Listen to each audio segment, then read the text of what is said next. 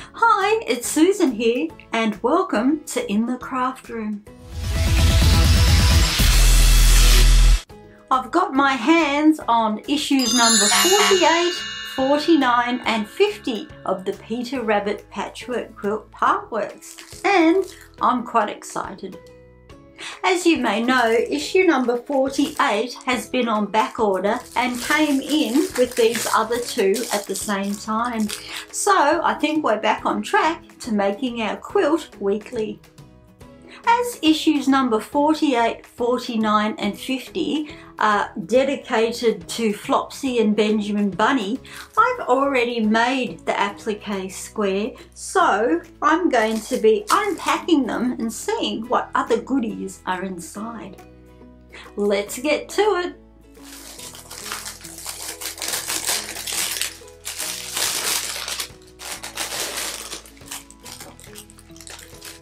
So inside the packaging, we've got oh, the dark brown, the light blue, the cream, pink, beige, the little pieces, and we've got a piece of the cream spot. And no Bondaweb. And like I suspected, we've got template number one and template number two to make our applique. I'm going to stash away all of these fabrics in my fabric box. You never know how handy they can become. All of my scraps came in handy when I did make this applique square. So these perfect pieces will do the trick. I'm also going to separate the book and place it in my separate folders in their sections. Now to open up issue number 49.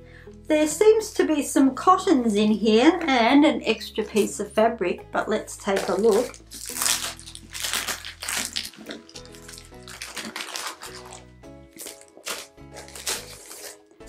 We've got some extra threads for our embroidery. We've also got this fabric here. I'm not sure what it's for. I actually think that it may be for the name Peter Rabbit, which is to be appliqued at the base of our central applique square. But who knows, I will stash that away with the rest of my pieces. Also inside, there's the embroidery instructions and we've also got the central border template number two for the large applique in the middle of our quilt as well as some applique pieces. It says you will receive the template for the candy blue applique pieces with issue number 50. And here we have issue 50 and we're back on track. With issue number 50 you'll receive another piece of this cream spot which I think is the fabric pieces which border around the completed quilt. I have four of these already from previous issues so I'm going to stash this away with them until instructed. Also, let's have a look what's in here. There's a section here called joining your squares and it shows you all the different segments and sections to the quilt. It also runs through the pattern and the order of the placement of the squares.